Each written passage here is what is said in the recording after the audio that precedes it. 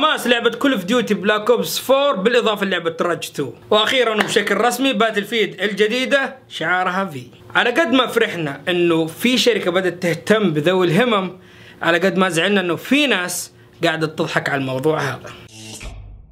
سلام. كيف حالكم؟ إن شاء الله أنكم طيبين ومبسوطين. أنا عارف بعضكم حيتساءل عن أمس ليش ما نزل مقطع الأخبار زي ما إحنا توعدنا واتفقنا مع بعض. والسبب بكل بساطة إنه أمس صار موضوع صراحة يزعل.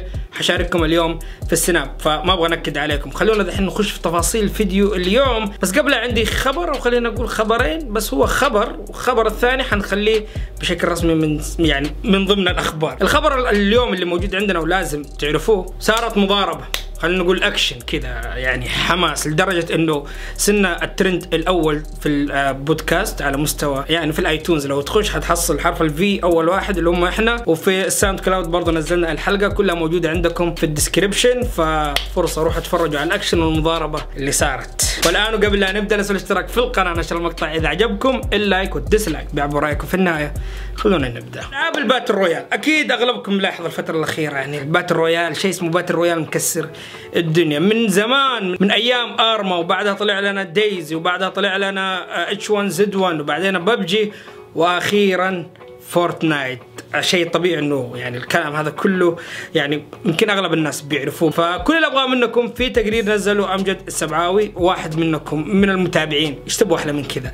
يعني تخيل أنت عزيزي المتابع حاليا اللي بتتفرج عليه بتقدر تخش على الموقع وتساهم معنا بمقالة بموضوع بخبر بقصة باكتشاف بأي حاجة. كل اللي عليك تتوجه على حساباتنا عندك سواء كان VG dot com على الإيميل أو حتى على حساباتي في تويتر ونوصلك إن شاء الله بشباب التحرير عندنا اللي حيظبطوا لك الموضوع وينزل عندنا بحساباتك الخاصة. كل ما ساهمتوا معانا كل ما الموقع كثرة الأخبار كثر في المقالات كلما وصل صوتكم أنتم وصل صوتنا كمان أعلى وأعلى. ودام تكلمنا على موضوع ألعاب ال battle royale كلكم تعرفون لعبة H1Z1 اللي انشهرت في فترة من الفترات على جهاز ال PC. حاليا حطت رحالها على جهاز ال PlayStation 4 ومن الآن أقول لكم بسرعة روحوا حملوا اللعبة لا تقعدوا تنتظرون لأنها حاليا مجانية وما عدا في أطوار ثانية حاطين عليها فلوس تدفع عليها على أساس تستفيد منها زي طور الزومبي اللي للأسف جماعة Fortnite ما يعرف انه أصلا في شيء اسمه طور زومبي. فما علينا كل اللي عليك حاليا تتجه حاب أذكر إلى الآن ما نزلت على ال store الأمريكي اللي أنا أعرفه موجوده حاليا على ال store السعودي.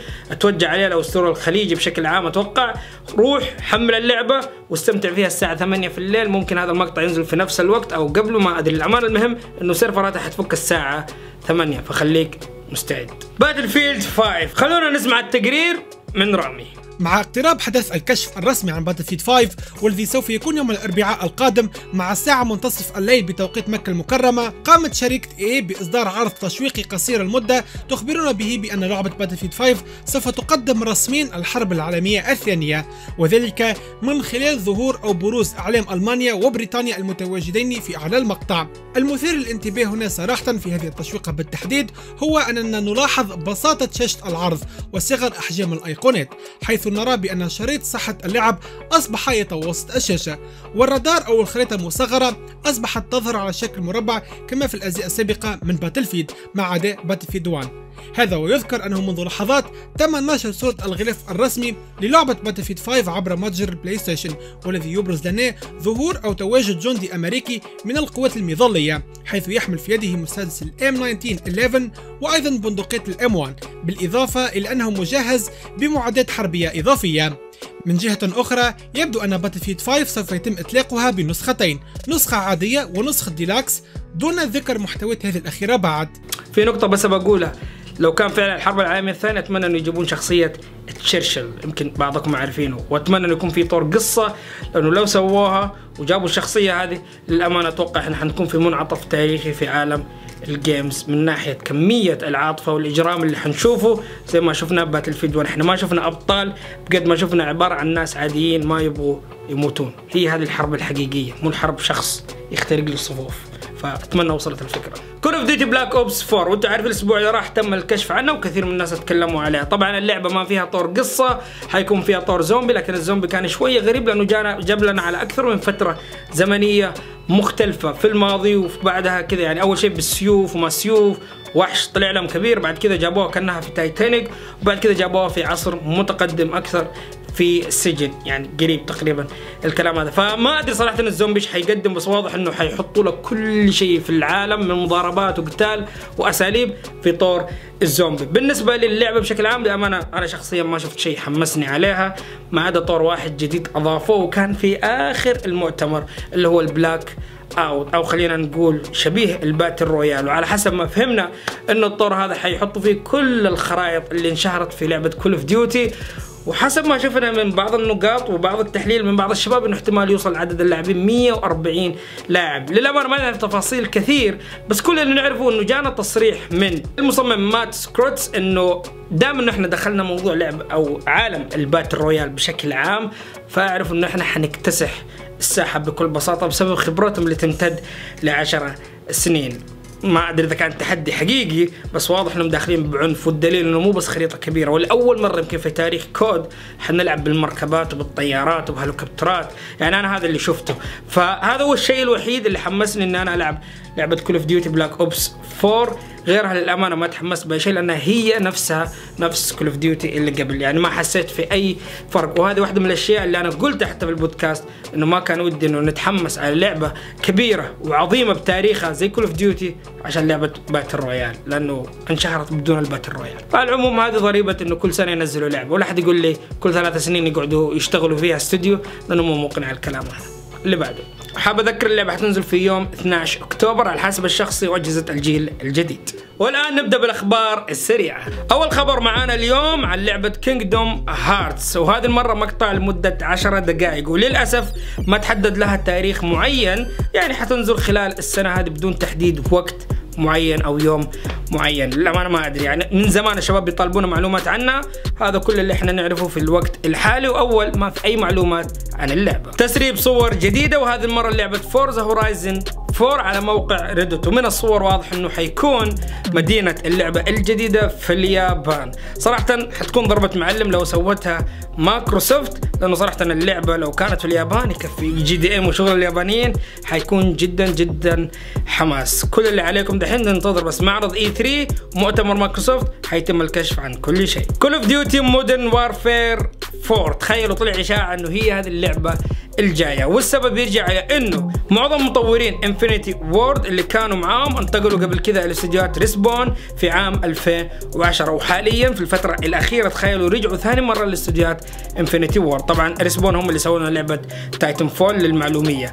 فرجعتهم هذه خلت الكثير من الناس يتكهنوا ويبنوا خاصة إنه أحد المسربين من مات هيرس مسرب المعلومات المعروف والشهير. فما أدري قولوا لي رأيكم. لعبة Skull and Bones أتأجلت للأسف إلى سنة 2019 أو 2020 يعني السنة المالية في بدايتها. طبعا صراحة أنا أشوف إنه شيء جدا ممتاز إنه يوبيسوفت تاخذ خطوة زي كذا لأنه قالوا السنة هذه عندنا لعبتين أو ثلاثة ألعاب بالتحديد. عندنا The Crew 2 عندنا The Division 2 وفي لعبة غير معلنة حنعرفها في معرض E3 حتكون بديلة للعبة Skull and Bones فما أدري.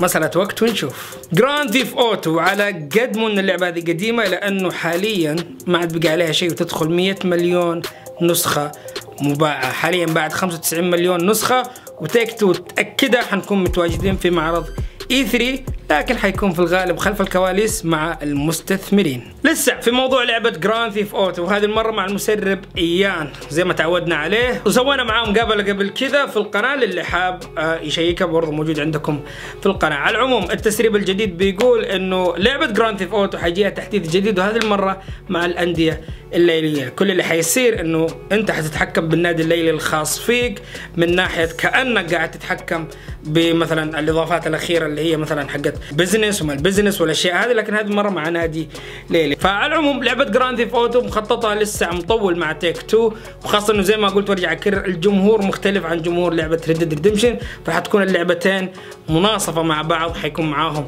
الدعم. ممكن الدعم يقل على Grand شوية وحيكون التركيز أكثر على Red Dead بس اللعبة حتستمر. ولو فعلا إيان صدق يعني أو خلينا نقول الكلام اللي قاله صحيح أتوقع إنه كثير من جمهور لعبة Grand Theft Auto حيرجعوا للعبة. فنصيحة جمعوا من الآن فلوسكم. ما تدرون في أي لحظة ممكن ينزلون اللعبة. الإضافة معلش Rage 2 للأمانة ال trailer اللي استعرضوه لنا من أجمل التريلرات اللي قد شفتها. في مجال الألعاب خاصة من ناحية الحماس والسرعة.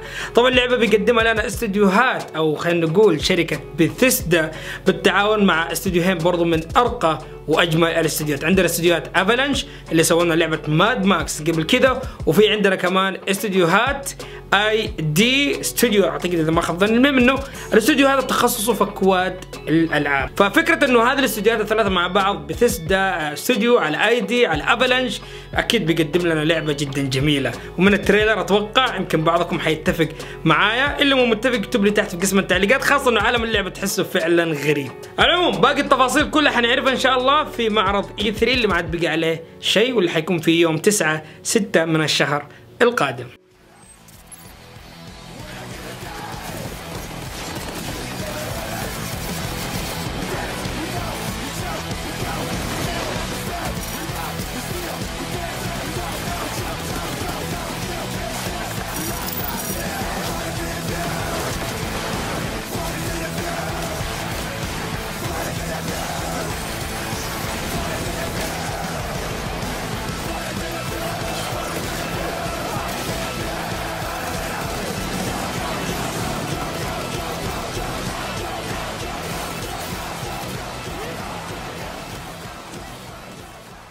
بكل فخر نقولها. Xbox أول شركة تقريبا الآن اللي إحنا نعرفه وشايفينه حطت جهد وبذلت مجهود تقريبا امتد على حسب ما فهمت إلى ثلاثة سنين عشان يطوروا اليد أو ال controller اللي حتشوفونها قدامكم واللي باسم Adaptive Controller طبعا هذا اليد أو هذه ال controller مخصصة لذوي الهمم اللي عندهم مشاكل من ناحية خلقتهم يعني هم اتولدوا زي كذا سواء كان ما عنده يد أو أطراف أو خلينا نقول آه عنده المهم إنه يعني في صعوبة ما هو يعتبر زي الإنسان الطبيعي. ال control هذا بتقدر تعدل عليه وتظبط عليه أمور كثير بتخلي ذوي الهمم يقدروا يلعبوا ويشاركونا وكثير منهم بيحبون ال games وللأمانة أكثر مرة بروح معرض وبلاحظ منهم فئة جدا كبيرة وفي في النهاية يعني فئة غالية ولا يغروكم ترى من جد ذوي همم حقيقي. الموضوع مو هنا. الموضوع إنه رغم إنه الواحد مفتخر بهذا الموضوع الا انه في جهات معينة للأسف ويعني ما أدري قبلها بيوم تقريبا ممكن عشان الصورة ما كانت واضحة تسربت صورة اليد ولاحظنا الطقطقة وكمية الضحك والونسة والفلة على اليد اللي يقول لك أقلي عليه واللي يقول لك أشوي واللي يقول لك غاز. لكن بعد ما طلع الخبر بشكل رسمي أنا ما أعرف يعني كيف صارت. أشكال الناس. فعشان كذا خذها قاعدة عزيزي المتابع. أي شيء مو واضح قدامك لا تستعجل وتحكم عليه. أصبر أساس إنه لا تكون في موقف بايخ زي ما صار في الوقت الحالي. لدرجة حتى الأجانب اقتبسوا بعض الكلام وحطوه في مواقعهم. ما أدري فعليا كيف. يعني خلينا أقول من النهاية. رسالة للشركات اللي عندهم حسابات بيطقطقوا. انتبهوا من الطقطقة هذه لأنه ممكن توديكم في داهية. على العموم هذا اللي كان عندي في هذا المقطع. أتمنى إنه عجبكم. لا تنسون اللايك. الاشتراك والهم من هذا كله النشر سلام each other as siblings. Who do you love playing Xbox with here at Craig Hospital? Zach. The Xbox Adaptive Controller and the Copilot feature allowed them again to play games together. So there's a huge social component to it. You got that? Yes, yes. They can play any game that they want. I see the confidence just burst out of them.